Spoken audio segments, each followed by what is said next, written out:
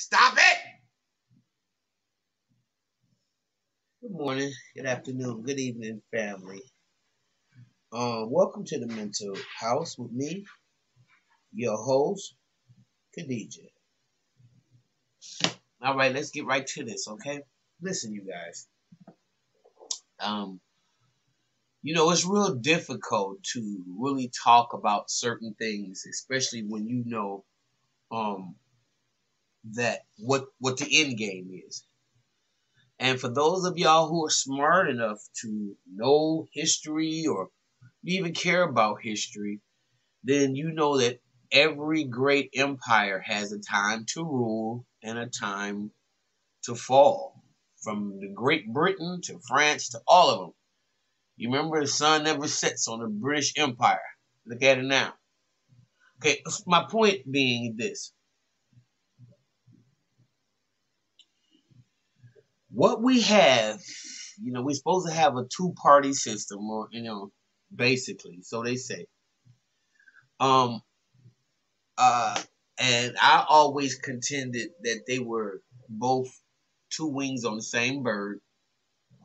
Okay. However, what I'm finding, uh, you know, controversial about that is the fact that I knew and grew up with and had friends that were Republicans and have friends that are Republicans. And this is not the Republican Party. Shout out to you, Gerard Randall, uh, Dorothy Parks, Andretta Parks, uh, Parshays. I mean, I, I, grew up with a lot of Republicans when I began to really uh, unpack that thing. And I saw that this is not the Republican Party. This is a party that is being ruled by hatred. This is a party that is ruled by um, somebody's trying to take my rights. Uh, black and brown uh, voter suppression. Uh, a party of QAnon, a party of just a bunch of uh, pretty much madness because everything I see in the um, the diagnostic statistical manual in terms of mental illness, and we start talking about the cluster B personalities. You know, the cluster B is the narcissistic personality disorder, the borderline personality disorder. Uh, they, uh, um, there's a few of them that fall under the cluster B. So, so they, you know, the way they do this, and I'm not saying that this is ah be all end all. In fact, it's all European jargon. But if we were to use it as a gauge and as a standard for what we're talking about right now, then you would have to admit that the Republican Party at this point, whoever these people are that are representing themselves as a Republican Party, are actually white supremacists who are mentally ill. All they do is project and lie, project and lie. And it's actually so insane that um it's it's they are taking whatever it's like somebody taking whatever you say and turn it upside down. And when we talk about the sickness of, of, of uh, narcissism and the constant lying and the gaslighting and the projection, that is what the this so-called Republican Party has morphed itself into on a real, real hard level. Um, and I can't say that I'm with the Democrats because remember the Democrats, the Democrats used to be what the Republicans are, straight up racist. So that's why I came up with that, you know, two wings on the same bird. They just flip scripts. But you got when we start talking about, and the reason why I'm making this video right here, when you start talking about this Marjorie Greene person who they stripped of her committees and whatnot, um, I really believe that this lady is mentally ill. Anytime you have a person that is elected to the Senate, and I'm just thinking about the constituents, the people that elected her, okay? To go around chasing people and confronting them on streets, you think that that is the way to actually engage in a conversation with somebody? Because if you come up on me like that trying to engage in a conversation, you know, because I already know what the ramifications will be if I punched you in the face, then I would have one of my goons do it. Somebody that would take the rap for it. You understand what I'm saying? Because you would be following me around talking crazy to me and just think it's gonna it's gonna be all good. It's gonna be nice. it ain't gonna be so nice like that. And I'm not one to hear simply say I I advocate for violence, but I do believe in shutting that shit down when it gets too crazy. And if you are in a position where you feel like you're gonna follow me around in and out of places, screaming at me about some stuff that is just really insane. Why do you support Black Lives Matter? Do you know that's a terrorist group? Do you know that's ter-? I'll be looking over at my people and I'll be like, and I still wouldn't say a word. Okay. So my point being, this Marjorie Greene that's running around, this is straight out of a, a cluster B playbook. This, these, these disorders, these personalities that these people are having that they, cause, and people are jumping up talking, I'm a Republican. You are really showing me just how crazy you are, how mad you are, how full of hatred you are. And that's no way to represent humanity at all. At all. And you are so afraid that what's going to happen to you once black and brown people get in power that you have now gone crazy and this has turned into a cesspool. It's already been a cesspool. Okay. But now it's just the most grimiest cesspool because you got people like, I mean, I mean, you got people like this Marjorie Greene person that runs around accosting people, uh, uh, uh, confronting them, and, and nobody got a problem with that. Not her constituents. You can't do anything, talking about because you put her off of the committees, and the only thing people seem to be concerned about is that she raised three million dollars in a quarter, and that's because money is their god.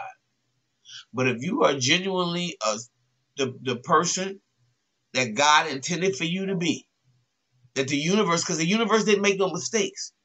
Remember now, we we are Frankenstein monsters. We were placed over here. So the mindset that we have is the offshoot of the European, who's everybody, everybody done slept with us and got their milk all in us. So there's some of your, if you think like that, that means a lot of that thought process that's done rubbed off on you. Some of us are still refused no matter if you got that vaccine in you or not, like that white man vaccine, some of us refuse to let it overpower our Afro Afrocentricness. And I'm one of them. Because I know the O'Neills were all in me. I see my freckles. I'm sure y'all see them too.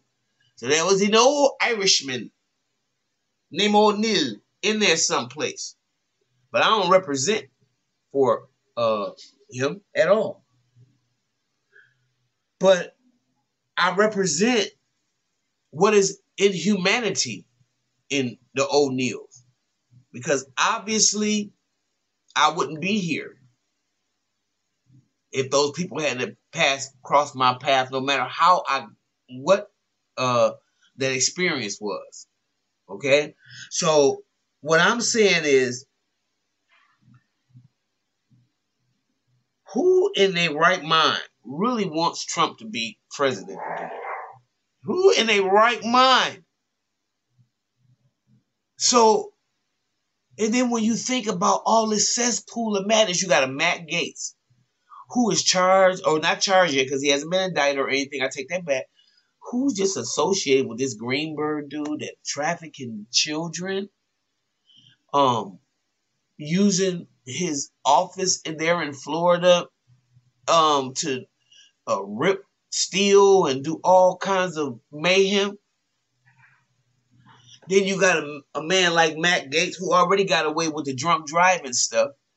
And now they're saying that he was he's trafficking teenagers, a teenage girl that was 17, doing cocaine with these people. And how come all these Trump supporters are really immoral people. You got Donald Trump, who's good friend with Jeffrey Epstein. What the hell is that? Jeffrey Epstein, everybody, y'all just put him in jail for uh, trafficking children, molesting children. Donald Trump is on tape talking about this is his friend. He parties with him. And now y'all and y'all turning a blind eye to this. This is not a Republican Party. This is a cult. And those of y'all who don't know the difference, I feel sorry for you. Because that cult is going to get you killed. The cult is going to take away any resemblance of critical thinking that you may possibly have. You can't have it. You're a functionary puppet. Again, y'all help me out because I, I need to know y'all opinion about this. Is it me? This this is can't be any kind of party of humanity that you making this lady Marjorie Greene all that because she raised three million dollars, but she's running up and down the street acting like a nutcase, and y'all like that type of stuff. Who are these people? This party is ruled by hatred. I gotta know what y'all, my family, think about. I mean, because when I think about Donald Trump, it all equals Jerry Epstein. They even party together again, party together. And you got Donald Trump on tape talking about, oh, he likes the girls a little younger than I do, huh? They both high as hell. Y'all see it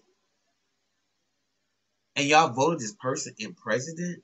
And okay, so what that goes to show me there's a hidden hand at play in operation. And it doesn't matter if you are a sex trafficker, um, if you use cocaine and you use cocaine with 17 year olds or people that you call over on the taxpayer's dime to have sex and do cocaine and write it off, or you all these things that represent a cluster B personality disorder person is what we're beginning to see now in the Republican Party. This Jim Jordan, he's involved with some kind of molestation up at uh, Ohio State. What the hell? Is it me? Why am I straight? Because I don't understand. Maybe I should. Never mind. Because because somebody help me. Help me with it. I'm gonna leave right now so y'all can leave your comments. And we're gonna discuss this. Is the Republican Party a party ruled by hatred? And do you see in your life a difference in the Republican Party that the Republican that you might have grew up with?